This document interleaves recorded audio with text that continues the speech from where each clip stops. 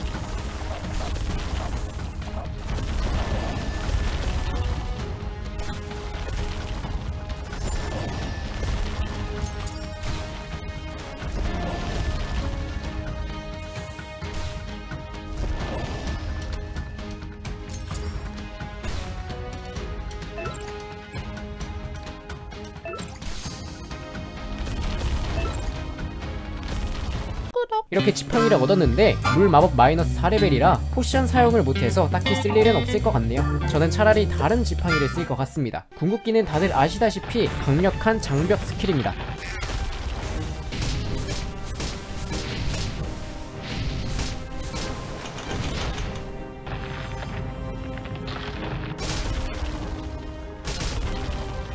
그럼 오늘 영상은 여기까지고 구독과 좋아요 부탁드립니다. 그럼 안녕